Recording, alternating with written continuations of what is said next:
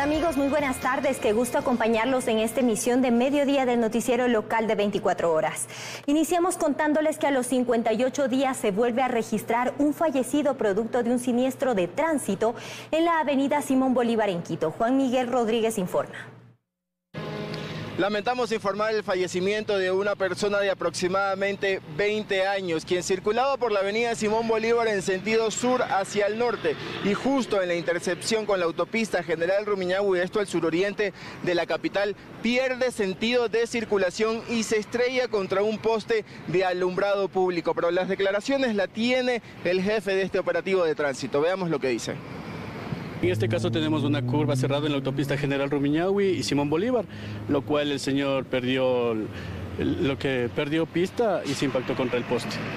Este incidente se reportó cerca de las 11 de la mañana de este día jueves y podemos observar en imágenes estos videos aficionados de las personas que transitaban justamente por este lugar, por la avenida Simón Bolívar, que ya reportaban lo que había sucedido acá tempranas horas de la mañana. Pues escuchemos también las declaraciones de la gente de tránsito, quien señala que por varias horas tuvo que estar cerrado este, esta avenida Simón Bolívar en sentido sobre todo desde el norte hacia el sur. Eh, aproximadamente tenemos unos 30 minutos aproximadamente que va a estar cerrado la avenida, eh, la avenida Simón Bolívar y autopista General Rumiñahui en el sentido norte-sur, ya que se está haciendo las pericias correspondientes. Hasta este lugar también llegó personal del Servicio de Investigaciones de Accidentes de Tránsito de la Policía Nacional para recabar toda la información necesaria y dar declaraciones de qué fue lo que sucedió acá. Y el municipio de Quito desarrolló un operativo interinstitucional en los exteriores del mercado de Santa Clara ubicado en el centro norte de la ciudad.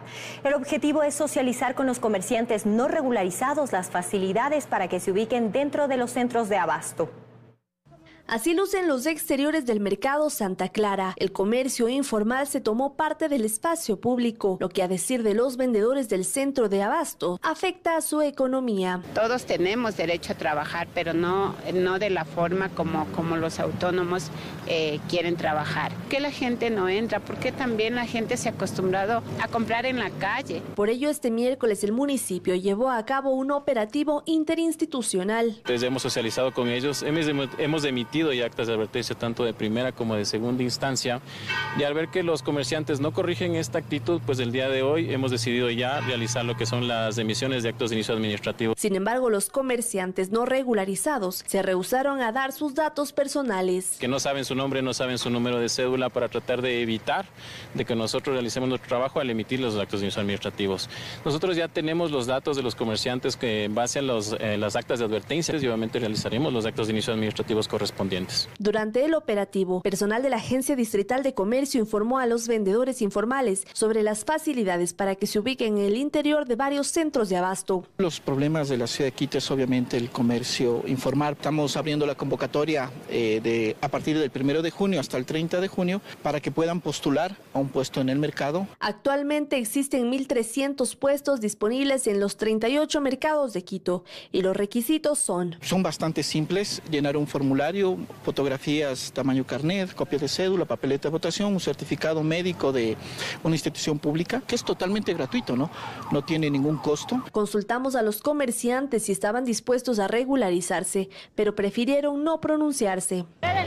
No sé, mis hermanas pueden hablar, señor. Las autoridades recuerdan que realizar actividades comerciales en el espacio público tiene una sanción económica del 50% de un salario básico, es decir, 230 dólares. Un robo se registró en el barrio de San Blas, en el centro de Quito. Los moradores señalan que a pesar de que en pocos días se inauguró un sendero seguro, el lugar no cuenta con alarmas comunitarias ni cámaras de videovigilancia. Esta parecería una familia común que pasea con un bebé, pero observen cómo dos de los integrantes amedrentan a un peatón y se llevan sus pertenencias. También se observa cómo el guardia de seguridad de esta parada de trole no actúa. El hecho se dio en San Blas, en el centro de Quito. Esto lamentablemente no es algo aislado, es de manera permanente y esto sí a nosotros nos preocupa muchísimo. Esta es la entrada al centro histórico. Sin embargo, a decir de Juan Carlos Rojas, presidente del Comité de Seguridad, seguridad, el espacio público está tomado por la delincuencia y libadores. Esto genera un delito, ¿por qué? Porque empiezan bebiendo en el espacio público, luego la gente se queda dormida y cuando ya no tiene para comprar algo, lo que tiene que hacer es justamente salir a atracar a la gente que se encuentra acá. Rojas agrega que en la anterior administración les entregaron alarmas de seguridad y cámaras. Sin embargo, aclara que estas no funcionan. Yo me pregunto, se inauguraron esto con bombos y platillos del año anterior, ¿por qué en menos de un año las alarmas están prácticamente eh, obsoletas? Según los moradores, a pocos metros de esta parada se inaugurará un corredor seguro y por ello solicitan que se instalen dispositivos de seguridad que sí sean efectivos. Con alarmas, con, eh, con cámaras, eh, sería mucho beneficioso para, para el sector más que todo. Gabriela Rosero señala que en los alrededores hay varias instituciones educativas que necesitan resguardo y por ello solicita que se instalen alarmas comunitarias, al igual que en los barrios donde habitan concejales. Realmente para mí sorprendente, eh, no, pues más bien tendría que ser en los barrios donde están, eh, estamos olvidados un poco tendría que ser para todos, ¿no? O para ninguno. Por su parte, Francisco Mosquera, gerente de la empresa pública M Seguridad, confirmó que el sendero seguro de San Blas contará con cámaras de videovigilancia y sistema de perifoneo, el cual estará interconectado con el COE metropolitano. Mucho tiempo las cámaras han sido percibidas como un tema de evidencia para el tema post.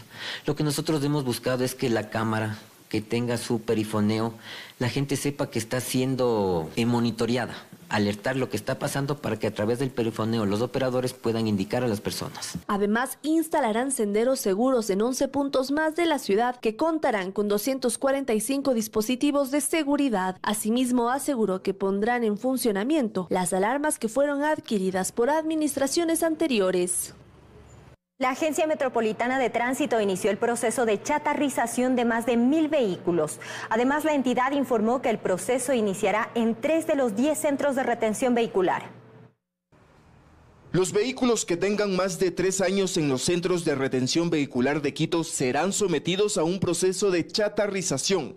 Así lo dio a conocer Washington Martínez, director general de la Agencia Metropolitana de Tránsito. La primera es devolver el espacio público a este parque y a todos los lugares que están los, los 10 centros de revisión de retención vehicular. Hay que entender que también esto nos causa, a todos los ciudadanos quiteños nos causa gastos. ¿Por qué? Porque tenemos que tener empresa de seguridad, tenemos que tener eh, el espacio uso público. Como parte de la primera fase, 1.123 automotores serán chatarrizados, de los cuales 856 son motocicletas, 259 livianos y 8 pesados. El proceso se desarrollará en primera instancia en tres de los 10 centros de retención vehicular. Son 830 vehículos que tiene el centro de retención vehicular Bicentenario 2 ubicado en el norte de la capital. De ahí que el valor diario que debe pagar cada usuario es de un dólar para motocicletas, 3 dólares para vehículos livianos, 9 dólares diarios pesados y 15 dólares extra pesados. De ahí que ciertos propietarios deciden abandonar sus vehículos porque el valor por el garaje representa mucho más de lo que cuesta el automotor. Mientras no se emita la declaratoria de abandono, los propietarios de los vehículos podrán retirar sus bienes de los centros de retención vehicular. Además, el titular de la AMT señaló que planean habilitar un centro más en el norte de la ciudad. La idea es tener un parque, un centro de retención vehicular en el norte, no sé si sea Calderón o Carapungo, donde el señor alcalde nos decida en ese momento. Por último, la autoridad informó que aunque un vehículo entre en un proceso de chatarrización, no exime el propietario de cancelar los valores adeudados. Y a propósito del contrato por dos millones de dólares que estaría por, por, adjudicar el municipio de Quito por concepto de publicidad y pautaje en medios de comunicación, las autoridades aseguraron que ese es el promedio de gasto anual. Esto tomando en cuenta la cifra de años anteriores y que la ley les obliga además a hacerlo por contratación directa. La ley orgánica de contratación pública nosotros nos obliga a contratar por régimen especial este tipo de eh, de contratos. No es que a, a, mí se me ocurrió o que a alguna autoridad se le haya ocurrido que se haga por este régimen. Todos los contratos de pautaje se tienen por obligación de la ley que hacer a través de régimen especial por contratación directa. Digamos, hay un proceso que se ha, uh, que se ha realizado con, con todo lo que eso significa pero no hay una empresa que tenga adjudicado todavía el contrato. Eso se verá en estos días. Y lo otro que ya nos hicieron alguna observación al respecto fue que no podríamos subdividir un mismo contrato en el mismo año dos veces. Este es un contrato que se entrega un rubro y ese rubro es el que se entrega a una empresa. Así está la, la normativa. Y sobre este tema se pronunció también el concejal de Quito, Michael Aulestia. Mediante una carta, Aulestia cuestionó el monto de 2 millones de dólares para publicidad y pautaje y afirmó que la Secretaría de Comunicación está aún a tiempo de detener la adjudicación del contrato. Exigió además que el gasto sea transparente y de calidad, pues el proceso ha generado varias críticas por la celeridad y la falta de transparencia. El concejal agregó que las compañías a las que se pretende adjudicar este contrato tienen entre sus accionistas a quienes fueron funcionarios públicos con el correísmo.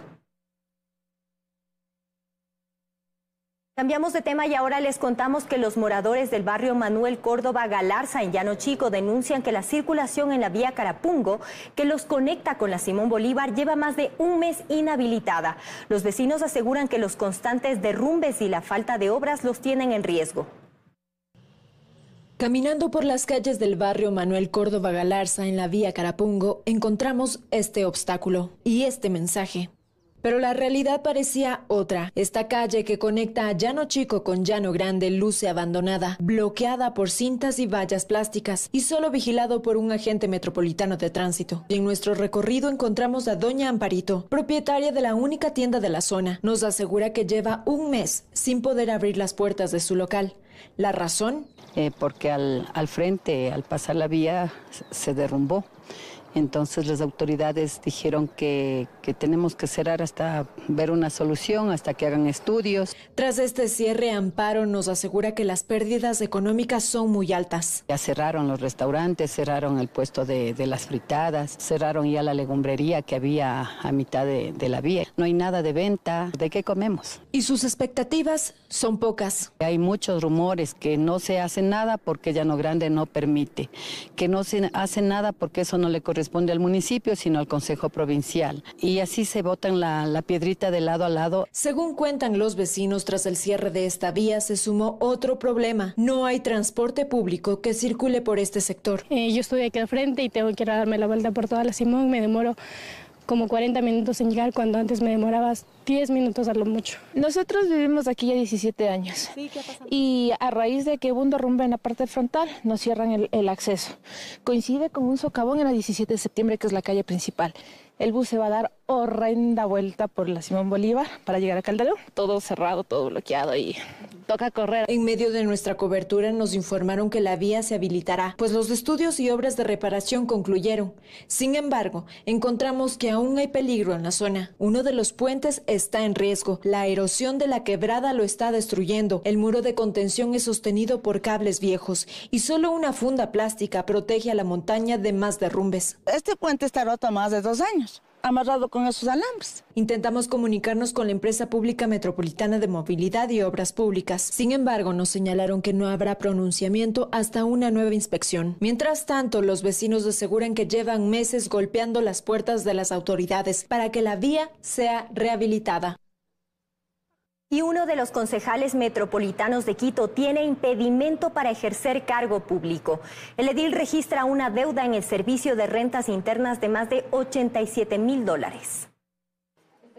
Se trata del concejal metropolitano Diego Garrido, quien según un documento emitido por el Ministerio del Trabajo tendría un impedimento para ejercer cargos públicos. Según consta en el escrito, el causal del impedimento es por adeudar a una entidad del sector público, específicamente al Servicio de Rentas Internas. En la página web de dicha institución consta que el edil tiene una deuda pendiente de 87.909 dólares por un saldo impuesto del 2012. Según el experto en gobernanza local Mauricio Alarcón, es lamentable que se de este tipo de problemas con autoridades de elección popular. Asegura que esto no solo afecta la imagen del edil, sino que se suma a las críticas que tiene ya el Consejo Metropolitano. Lo menos que se espera de un funcionario público, no se diga de una autoridad de elección popular o de una alta autoridad de una institución, es que cumpla con los requisitos establecidos en la normativa aplicable que no se encuentre en curso en prohibiciones ni inhabilidades para que no haya duda alguna sobre la legitimidad y la legalidad de sus actuaciones. Son las acciones de un cuerpo colegiado las que fundamentan su credibilidad y su confianza respecto, en este caso, de los quiteños en particular. Según el especialista en democracia y gobierno Esteban Ron, este impedimento para ejercer cargo público podría incluso ocasionar la remoción del edil. Puede ingresar a través de una denuncia ciudadana, ¿sí? O puede ser un procedimiento de oficio que lo inicia el Ministerio del Trabajo. ¿sí? Sobre la base de la información cruzada que tendría, en este caso, con el Servicio de Rentas Internas. Eso se oficiaría a la máxima autoridad nominadora, del, en este caso del Consejo Metropolitano, para que se inicie el proceso de remoción. Obviamente, esto va a un proceso sumario administrativo donde el concejal puede determinar y presentar sus elementos de descarga. Solicitamos una entrevista con el concejal Garrido para conocer su postura sobre el tema. Sin embargo, nos informaron que está de vacaciones, por lo que esta tarde su equipo de comunicación tiene previsto emitir un comunicado. 14 horas con 9 minutos. Gracias por su sintonía. Ahora les contamos que cerca de una tonelada de droga fue decomisada por la Policía Nacional en la parroquia de Pifo, en el nororiente de Quito. El alcaloide está valorado en 2 millones de dólares en el mercado ecuatoriano. Este es el momento en el que uniformados de la Policía Nacional allanan una vivienda en la parroquia de Pifo, al nororiente de Quito. En su interior se encontró cerca de una tonelada de clorhidrato de cocaína. Este tipo de cantidades definitivamente son para el tráfico internacional de drogas. Los destinos principales, Centroamérica, Norteamérica y países de Europa. En ese sentido, tenemos una integración con esfuerzos con policías amigas, tanto en América como en Europa. Y hoy deben ustedes saber que este resultado representa un esfuerzo significativo también con nuestra comunidad. La droga fue encontrada por la unidad especializada de la policía, escondida en cajas de cartón. La sustancia está valorada en más de 2 millones de dólares en el mercado ecuatoriano y en el mercado estadounidense asciende a 40 millones de dólares. Como ustedes conocen, existen más de 70 pasos irregulares en la zona norte, en la frontera tanto en Esmeraldas, Carchi y Sucumbíos. La droga viene desde Colombia principalmente, se almacena a lo largo de todo el territorio continental y busca salida hacia el mar. Más de mil paquetes de droga decomisó la Policía Nacional de esta vivienda, donde dos personas resultaron aprendidas. Además, fue retenido un vehículo y cuatro teléfonos celulares. Tenemos 30 operativos realizados, eh, casi 50 personas detenidas y un aproximado de 50 kilos de diferente tipo de sustancia eh, retenida. Esto se ha intervenido en varios distritos de aquí del cantón de, de, la ciudad de Quito. Por último, la autoridad informó que en lo que va del año se decomisó 120 toneladas de droga y casi 5 mil personas fueron detenidas en los operativos policiales a escala nacional y tres ciudadanos colombianos fueron repatriados por el puente internacional Rumichaca. Los extranjeros cumplieron sus condenas por robo y narcotráfico en el Centro de Privación de Libertad de Ibarra. Jairo Jacome nos tiene un informe a esta hora. ¿Qué tal, Jairo? Así es que tal, buenas tardes. Los repatriados quedaron en libertad una vez que ingresaron a territorio colombiano. Sin embargo, no podrán retornar a territorio nacional. Este es el segundo proceso de repatriación de personas privadas de la libertad de nacionalidad colombiana que se realiza por el puente internacional de Rumichaca. Eh, de acuerdo al decreto 218 eh, de los CPLs, tanto en la parte interna como externa, y, acompañar a las, a las, instituciones responsables, al SNAI, a la Policía Nacional, en el traslado de PPLs con cierta peligrosidad. En este caso, van a ser repatriados tres PPLs a la hermana República de Colombia. Los tres sujetos acabaron de purgar sus penas por robo y tráfico de sustancias sujetas a fiscalización en el Centro de Privación de la Libertad de Imbabura. Por ello fueron entregados a las autoridades de migración colombiana y quedan en libertad. Entonces el trámite que será, se hará aquí, se registrará la salida de los tres ciudadanos de nacionalidad colombiana. El momento de entregarles a la policía colombiana, igualmente ellos realizarán el registro de ingreso. Hace un poco más de un mes se realizó el primer proceso de repatriación del año con 13 privados de la libertad que cumplieron el 50% de su pena en la cárcel de Tulcán y acabarán sus condenas en los centros penitenciarios de su país. Pero en esta ocasión un juez dictaminó que luego de cumplida su sentencia deberían ser regresados al vecino país donde quedarán libres. Sí, la segunda, la otra fue diferente porque los 13 detenidos anteriores, ellos fueron a acabar de cumplir la pena en Colombia, en cambio ahora es diferente porque que los que están, van a venir los tres, esos ya tienen la boleta de libertad, únicamente van a tener el registro de inmigración de, de Colombia y van a quedar libres. Una vez registrados los datos migratorios de salida del territorio ecuatoriano e ingreso a Colombia, son puestos en libertad. Sin embargo, no pueden retornar a territorio ecuatoriano sin antes cumplir con tiempos y sanciones legales. En lo que va del año hemos tenido el mes anterior 13 repatriados de aquí de la ciudad de Tulcán, con estos serían los tres más. Si regresan al país y son sorprendidos por autoridades migratorias, serán inadmitidos y retornados de forma inmediata a Colombia, con sanciones severas que impiden su ingreso a Ecuador. Son varios los procesos de repatriación que están pendientes en diferentes centros penitenciarios del país.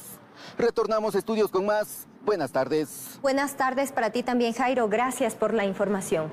Ahora les contamos que en el sector de la Vicentina, en el centro norte de Quito, delincuentes robaron el cableado soterrado del sector. Los sujetos utilizaron incluso un camión para sustraerse unos 140 metros de cable.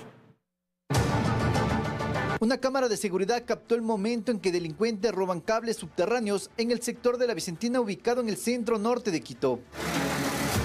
El video tiene una duración de tres minutos. Se observa cómo varios sujetos utilizan un camión para robar los cables. Hay cinco ocupantes, hay cinco personas que realizan este, este delito. La policía judicial también está haciendo, realizando seguimientos, especialmente con las cámaras, con las cámaras para verificar el tipo de camión, las personas que han estado y la trayectoria que ellos tomaron mientras que los residentes del área expresan su preocupación, señalando que este tipo de acciones delictivas no son ajenas a la realidad que enfrentan a diario. Pero hay que hacerlo con mucho cuidado realmente. Sí, siempre estar pendientes. Y... y es que los relatos de asaltos son frecuentes en la Vicentina, lo que ha generado un ambiente de inseguridad entre los habitantes y transeúntes del sector. Veo que viene uno, me vio y se cruzó y, y me cogió aquí. Y me dijo, pasa todo lo que tienes y me sacó un cuchillo.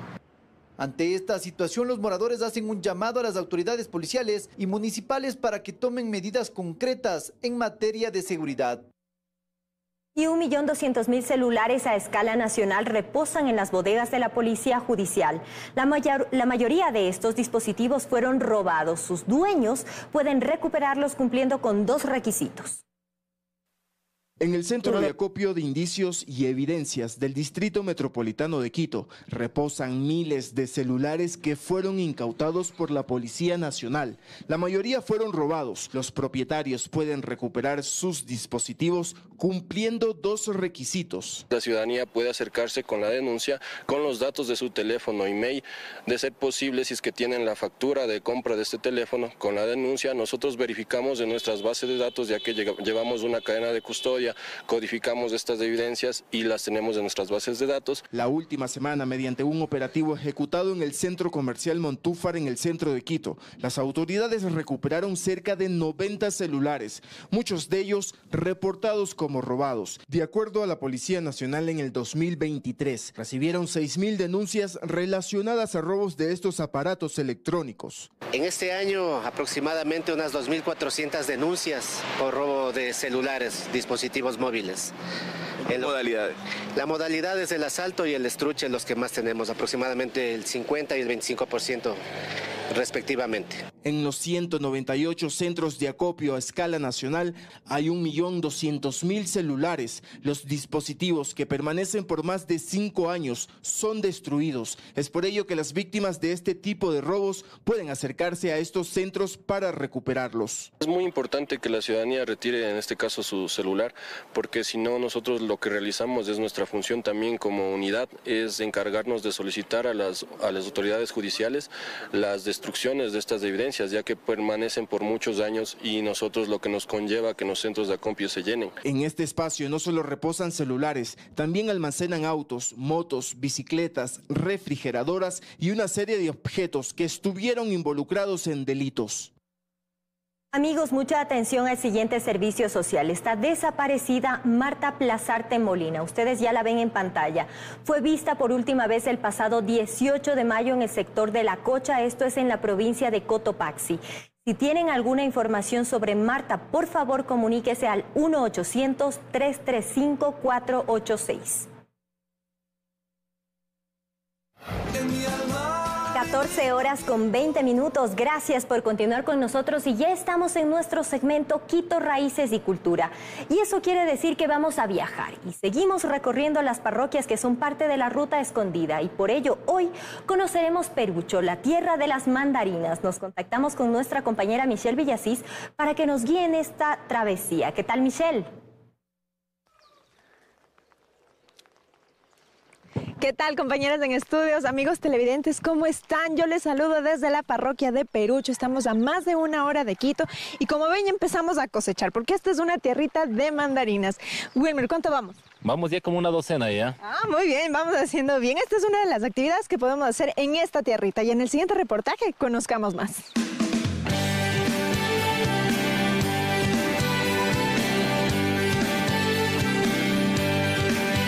Rodeada de enormes y verdes montañas, vive una de las parroquias rurales más antiguas del distrito.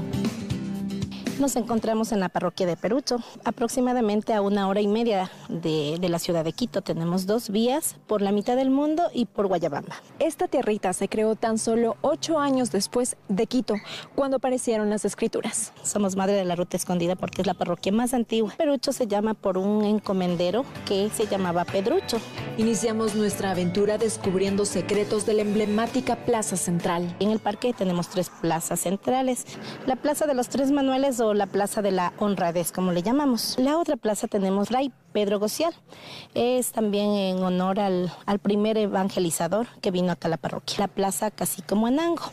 Visitar Perucho es regresar al origen. Aquí se encontraron vestigios donde se confirma la ocupación humana desde hace 9.000 años y estas pertenecen a los caranquis. Esta cultura pues eh, hace frente a la invasión inca en, su momento y pues eh, el líder del territorio, el cacique Muenango, fue quien defendió todo este territorio. En el Museo de Perucho vamos a encontrar diferentes vestigios que se han logrado registrar, por ejemplo, estructuras domésticas, estructuras de almacenamiento, eh, diferentes eh, vasijas que se han podido encontrar. La imponente iglesia de la parroquia se erige majestuosa en uno de los extremos de la plaza. Sus columnas de madera susurran secretos de tiempos olvidados. Esta iglesia tiene 470 años. Es la segunda más antigua de Quito. Es hecho con madera tarqui, traída de los bosques primarios de Aloguincho y de aquí mismo de Perucho parece el arca de Noé. Este templo guarda en su interior el arte y la fe. Todo lo que usted va a encontrar aquí es escuela quiteña. Pero la diversión también es parte de la parroquia Perucho Park. Es un complejo, le llamamos familiar, porque tenemos diversiones desde para los más chiquititos hasta los más ah, viejitos, que en este caso serían nuestros abuelitos. Tenemos el fútbol inhumano, tenemos el fútbol villa, donde estamos actualmente.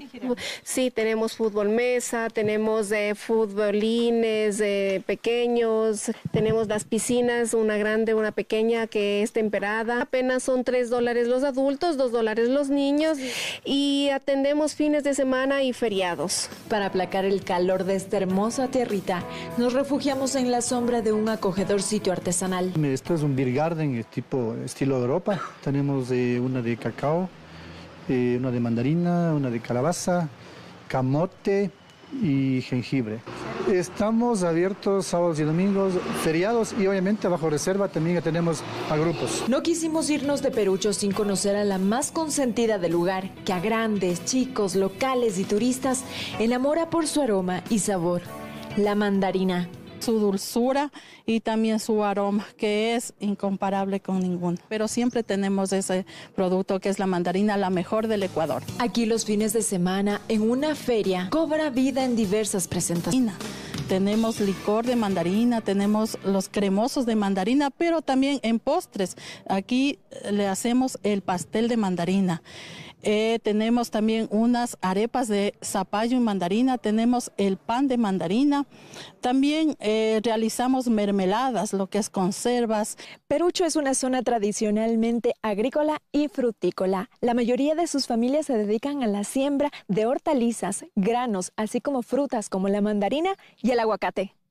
Esta es la comuna San, Luis de Ambuela, la única comuna que tiene la parroquia de Perucho. Aquí fueron las haciendas de los jesuitas. Toda esta, esta área producía la caña, camote, eh, zanahoria blanca, los granos. Ya al llegar la tarde nos sentamos a la mesa para degustar el verdadero sancocho peruchano. Y sobre todo es nuestro plato que nos da identidad. ¿Sí? ¿Qué ingredientes nomás tiene? Bueno, se hace con los granos de la localidad, sobre todo el, el guineo común, frijol y el choclo, y lo acompañamos con la carne de chancho que es especialmente del espinazo. ¿Y cuál es el secreto? No se puede decir el secreto. Así, entre risas y sabores, nuestra visita a Perucho se convirtió en un capítulo inolvidable que usted no se lo puede perder. Y bueno, estas fueron las actividades que nos ofrece la parroquia de Perucho. Ya sabe, puede venir a conocer una iglesia patrimonial, jugar un billar humano, también disfrutar de un sancocho peruchano y terminar el día con un delicioso jugo de mandarina. Aquí con Wilmer vamos a disfrutar lo que cosechamos, así que salud. Salud. Salud, Michelle, muchísimas gracias. Y todos a probar de las mandarinas de Perucho. No se las pueden perder, son en realidad muy dulces y deliciosas. Cambiamos de tema y ahora les contamos que este miércoles la Fundación Jocotoco presentó el libro Flora, Ecología y Fitogeografía de la Reserva Canandé. Este lanzamiento estuvo acompañado de una muestra fotográfica que llama a preservar la biodiversidad. Usted también podrá disfrutar de esta exhibición durante los próximos 12 meses. Escondida entre la región del Chocó ecuatoriano al sur de Esmeraldas, yace la pequeña reserva Canandé. Expertos la catalogan como el ecosistema más rico del planeta. La riqueza y la, y la biodiversidad se asemeja bastante a lo que se puede encontrar en la Amazonía. Sin embargo, es uno de los más amenazados por la deforestación. Actualmente mm, nos queda quizás un 3-4% de los bosques originales que hace 80 años cubrían toda la costa ecuatoriana. Gracias a la Fundación Jocotoco, hoy este espacio de más de 15.000 hectáreas está protegido. En esta reserva Canandé está el Chocolab, es un laboratorio científico que están estudiando cómo se puede recuperar este bosque. Tras nueve años de estudios se revelaron datos importantes. Es una, la última zona que queda en la costa ecuatoriana donde pueden existir todavía poblaciones de jaguares, de águilas arpías, como usted decía, de osos hormigueros gigantes. Se han identificado algunas especies eh, únicas, como es el caso de la magnolia canandiana, eh, caso de la magnolia dixoni, que son especies eh, endémicas y que están eh, lastimosamente en una categoría de amenaza. Y para que el resto del país la conozca y proteja, la Fundación Jocotoco lanzó el libro Flora, Ecología y Fitogeografía de la Reserva Canandé, Chocó Ecuatorial. Aquí podemos encontrar eh, la flora de, Canandé, pero también podemos ver eh, lo que es fauna, como mamíferos eh, que se han registrado en cámaras trampa, también algunos anfibios, reptiles, como emblemáticos del lugar. Y así también inauguró la muestra fotográfica Descubriendo los Tesoros del Chocó Ecuatoriano. Lo que uno espera es que la gente primero enriquezca su conocimiento, eh, sepa valorarlo y pueda difundir, mover conciencia a nivel eh, nacional e internacional.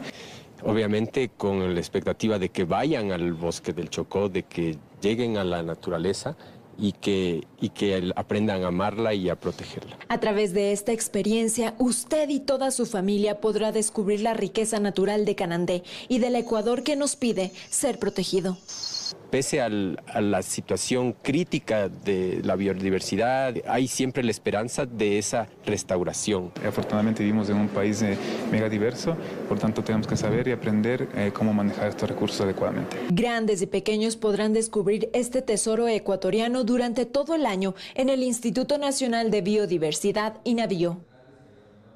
Amigos, antes de terminar, queremos revisar cómo estará el clima en algunas ciudades del país. Iniciamos con Ibarra en la provincia de Imbabura. Esta tarde 25 grados Celsius está bastante caliente, sin embargo está nublado. Por la noche descenderá apenas un poco 17 grados y se mantendrá nublado. Ya para mañana, viernes, 13 grados Celsius y parcialmente nublado también. Tome en cuenta esta información para que no le coja de sorpresa si usted tiene que salir de casa. En Quito, esta tarde de 21 grados Celsius hace muchísimo calor en la capital, así que si usted va a salir, hágalo bien protegido. Por la noche 12 grados Celsius estará bastante frío y mañana viernes 8 grados Celsius. Con esto amigos nos despedimos, recuerden nos vemos mañana desde la 1 y 50. Ya vienen corto, que tengan una linda tarde. Chao, chao.